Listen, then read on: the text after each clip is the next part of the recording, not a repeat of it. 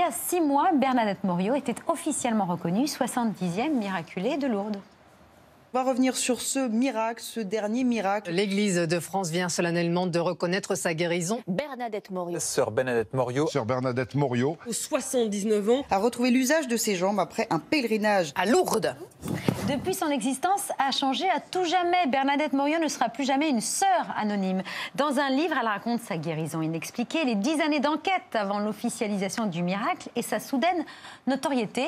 Je ne suis pas une star, dit-elle, même si elle fait, selon la formule du Parisien, un peu d'ombre à la Vierge Marie. Bernadette Morio est ce soir notre invitée.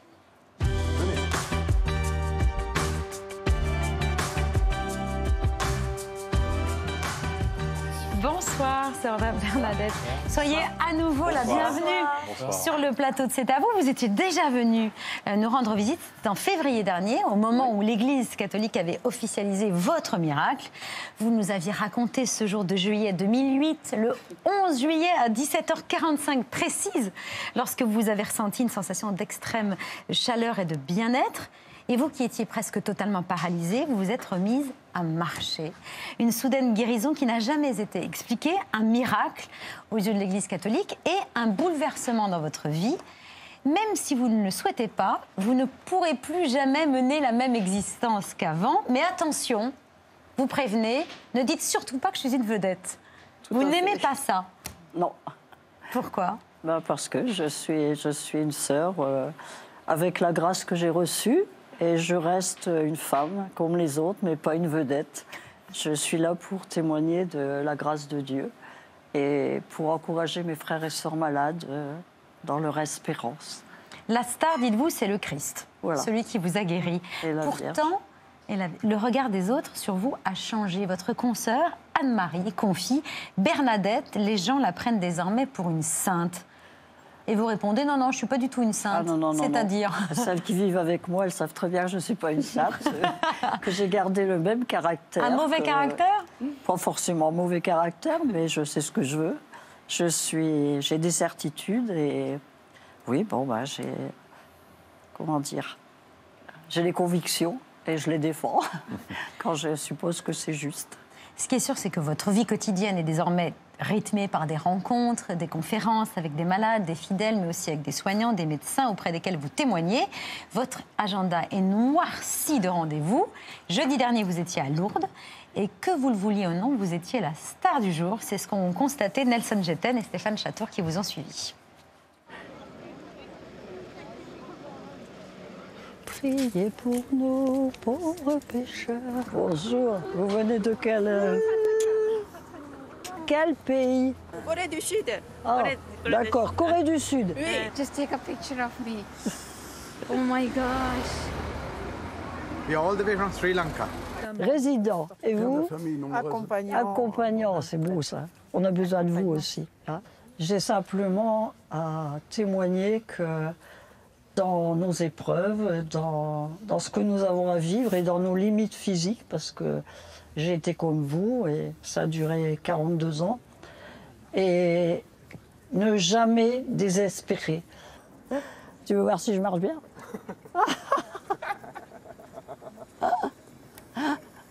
Et oui, je marche. Je me relève pas. Hein. Salut. Comment ça, tu te relèves pas? Justement, le truc c'était que justement tu pouvais te relever maintenant. Elle est sans mystère. Donc elle est là, euh, le plus simplement du monde, avec toute sa joie. Elle est extrêmement dynamique et elle a une, joie, une foi communicative. Tu te rends compte, c'est la miraculeuse qui t'a roulé. Elle est libérée, elle est souriante, elle apporte la joie. Ça me donne du courage de voir ça.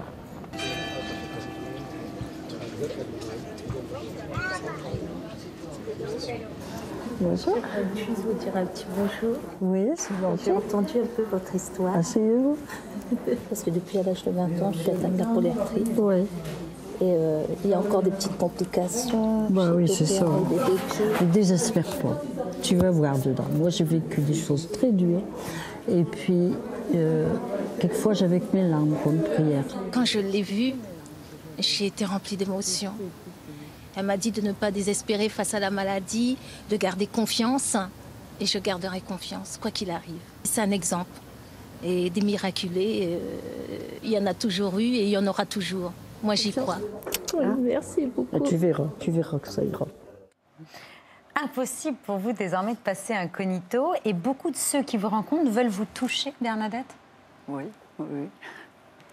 Mais je dis que je ne suis pas une guérisseuse. Simplement, si je les touche, c'est un geste de compassion. Et c'est vrai que quand je revois ça, ça me fait toujours pleurer. Parce que bah, ça m'atteint quelque part, parce que je, je comprends leur souffrance. Et en même temps, je me dis, bah, toi, tu as eu la grâce euh, d'être guéri. Et tu es là pour, euh, bah, pour communiquer cette grâce. Mais tout le monde ne reviendra pas guéri physiquement. Mais en même temps, euh, il y a une guérison intérieure qui se vit. Et quand les malades me disent euh, Vous nous donnez du courage, ou euh, on, repart plus fort, bah, pour moi, c'est- je suis sûre que c'est le Christ qui passe à travers ça pour leur dire cette parole. Et que la Vierge Marie, elle est, elle est mon guide. Euh, Votre guérison, elle a eu lieu trois jours après un pèlerinage à Lourdes. Un pèlerinage auquel vous ne teniez pas à participer. Vous avez répondu à votre médecin traitant qui insistait Ça fait belle lurette que je crois plus au miracle pour moi. Oui. Vous aviez perdu l'espoir. Non, non, non, non, parce que je vivais. Non, c'était pas, c'était pas une réponse de désespoir.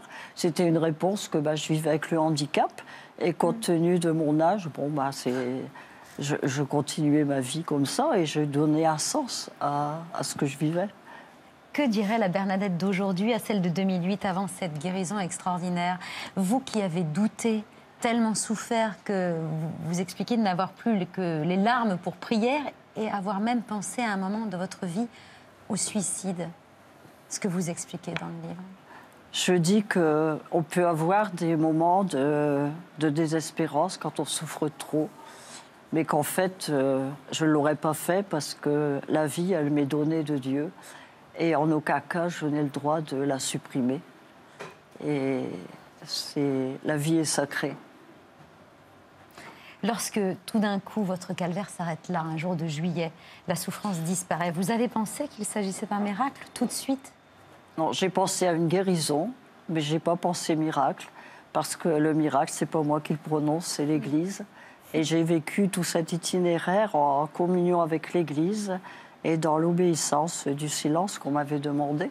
On vous avait que- demandé de, de garder Oui, le silence oui. parce que votre mère Bah, supérieure se disait Non, pas que ça, mais parce qu'il faut du temps pour reconnaître si c'est vrai, si, si ça va durer, si, puis il fallait que ce soit contrôlé scientifiquement. Donc euh, voilà, je me, lui- je me suis laissé couler euh, dans l'obéissance. De même que ce livre, il a été fait dans cette même mouvance euh, de dépendance à l'Église. Alors effectivement, pour que votre miracle soit reconnu, ça a été un véri- véritable parcours du combattant, dix ans d'enquête. Votre vie est passée au crible, vous témoignez devant près de 300 docteurs, des amphithéâtres bondés de médecins, vous êtes questionné par des psychiatres, vous subissez une dizaine d'examens, à croire que l'Église se méfie des miracles. Vous dites, j'ai vu plus de médecins que quand j'étais malade, un comble, on m'a même demandé si j'avais vécu une lévitation. Alors? Oui, ben c'est vrai, mais bon, euh, c'est sûr que c'est normal qu'ils se posent des questions, c'est normal qu'on prenne ce temps, c'est normal, euh, voilà. C'est parce que c'est c'est pas quelque chose qui est ordinaire, donc euh, bah, l'Église est prudente. L'Église est prudente. On a retrouvé le témoignage d'un autre miraculé. Il s'appelait Serge Perrin, hémiplégique. Il subissait impuissant la progression de sa paralysie lorsqu'en 1970, il s'est rendu à Lourdes, impotent, quasi aveugle et sans espoir. La cérémonie s'est déroulée, je suis incapable de vous dire comment ça s'est passé, j'ai jamais rien vu ni entendu. Et à ce moment-là, euh, un prêtre est passé devant moi, euh, m'a me faire l'onction sur le front et puis les deux mains, on a dû me prendre. Et à ce moment-là, les oreilles se sont débouchées, faisant un certain bruit, comme lorsqu'on en débouche une bouteille, vous savez, que j'ai senti pour la première fois depuis des années une chaleur inhabituelle à mes deux orteils d'abord. Puis cette chaleur a commencé à gagner mes pieds, et puis mes jambes, et les cuisses. Puis en fin de compte, euh, quand j'ai traversé ma chambre tout seul, euh, comme si rien n'était, comme si j'avais continué à marcher toute ma vie comme ça. C'est redevenu un homme normal. Il sera reconnu miraculé en 1978. Il décrit les- la même sensation de chaleur que celle que vous décrivez. Vous connaissiez son existence? Son Euh, J'en ai entendu parler, mais qu'après. Vous Euh, êtes très, très, très ému. Oui, bah oui, bah oui, c'est toujours, euh, ça nous dépasse, et je suis toujours dépassée. Pourquoi cette grâce? Pourquoi? Mais bon, j'ai compris aujourd'hui que c'était pour être témoin de l'amour du Christ pour chacun d'entre nous, et, et que la Vierge, euh, elle est toujours attentive aux besoins de ses enfants. Alors, Des larmes, vous en avez beaucoup pleuré vous-même au moment où Oui, vous, oui. avez vécu cette guérison? Bah parce que bah parce qu'on est ébranlé. On est ébranlé, quelque part on change de peau, on change de rythme, on se retrouve de l'autre côté de la barrière. Et puis bah, vous vous dites euh, bah, pourquoi moi? Et c'est vrai que dans le livre je le dis. C'est la question que vous vous Pourquoi posez. moi? Et vous n'avez pas de réponse à Je cette n'ai pas de réponse et je crois que j'en aurai une réponse qu'au ciel, le jour où je partirai vers le Seigneur. Marion le disait, vous, avez, vous êtes passé devant plusieurs médecins, des dizaines de, de médecins, et à la fin de ce processus, eh bien, le bureau médical de Lourdes a conclu à une guérison inexpliquée dans l'état actuel des connaissances scientifiques. Le miracle, vous le rappeliez, a été reconnu par l'Église. Lors de ce vote au sein du bureau médical, aucun vote contre, il y avait quand même quelques sceptiques, trois abstentions, mais une majorité de votes pour. Globalement donc, les gens respectent cette euh, vérité scientifique, en tout cas ce constat scientifique, même si certains ont parfois, quand euh, ils entendent votre histoire, un petit sourire en coin.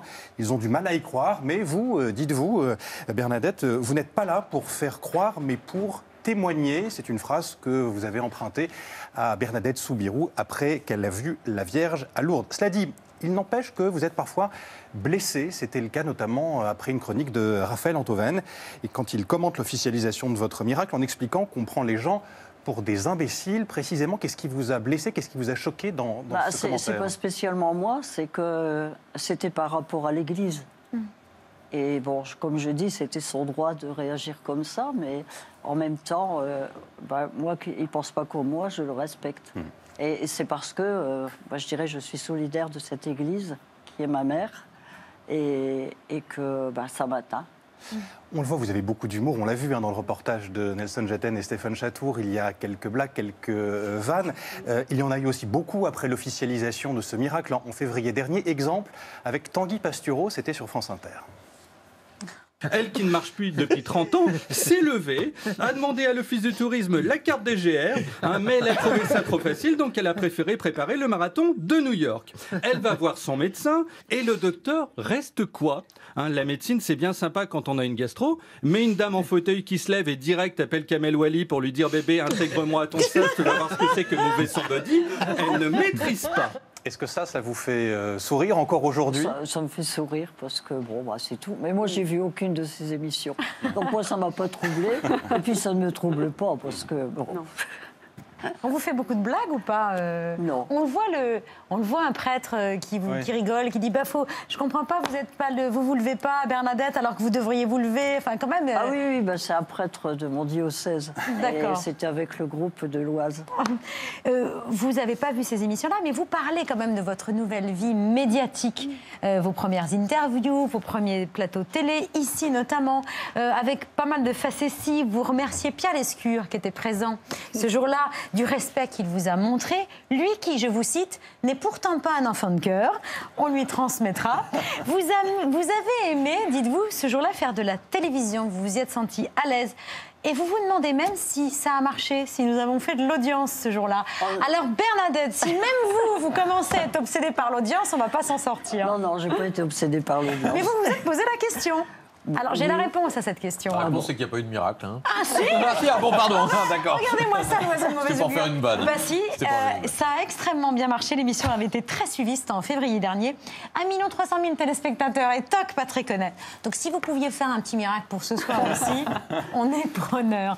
Merci beaucoup, Bernadette Morio. Ma vie est un miracle. C'est chez Jean-Claude Lattès. Pourquoi moi la question que vous vous posez qui reste sans réponse. La miraculée de Lourdes raconte sa soudaine guérison. Vous voulez bien rester avec nous?